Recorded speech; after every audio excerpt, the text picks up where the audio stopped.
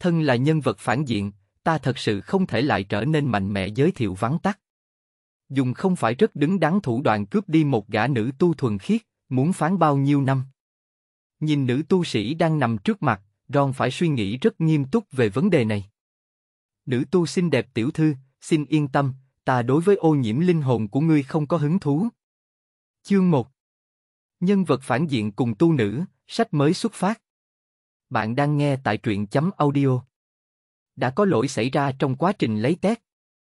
Chương 2 Sống này, ưu thế tại ta.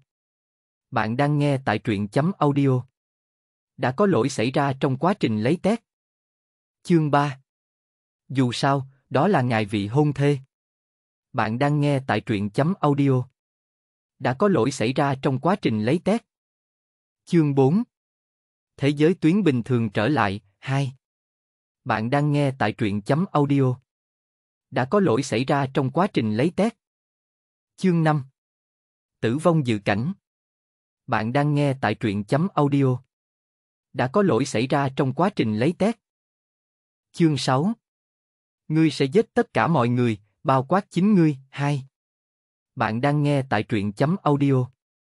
Đã có lỗi xảy ra trong quá trình lấy test. Chương 7 Tu nữ trinh tiết, 1 Bạn đang nghe tại truyện chấm audio. Đã có lỗi xảy ra trong quá trình lấy test.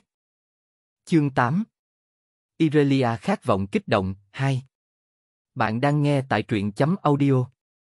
Đã có lỗi xảy ra trong quá trình lấy test. Chương 9 Tiểu Hắc Tử, 1 Bạn đang nghe tại truyện chấm audio.